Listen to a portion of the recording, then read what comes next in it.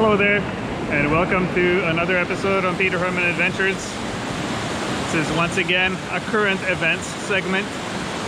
I was up here three or four weeks ago reporting on a bank collapse into the Chilliwack Vedder River.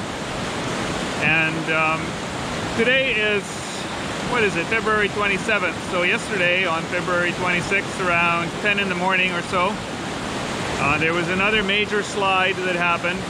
Um, just downstream from the Chilliwack River Fish Hatchery. And this one was a big one.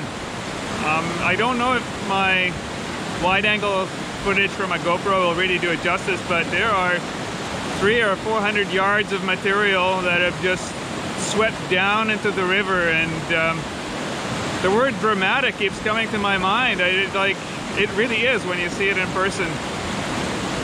I'm gonna pan around a little bit. So you can see it's, it's really a huge swath of material. This bank has been collapsing little by little over many years, but right now it has given way in a, in a dramatic fashion and slid down into the river. I think we're really quite lucky that we didn't lose any anglers in this event. On a weekend, this tends to be a, a fairly busy spot on the river. So on a Saturday morning, I'm sure there were a couple of people fishing in this area.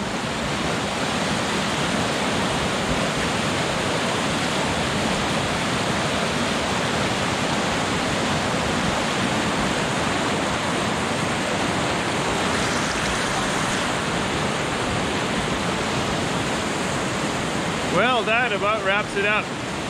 If you have any interest in this subject, just come have a look at it in person. It's really quite something to see. And um, I think this will continue to have an impact on our fisheries in the near future. It's going to take many weeks for a bunch of this material to wash away and erode into the river.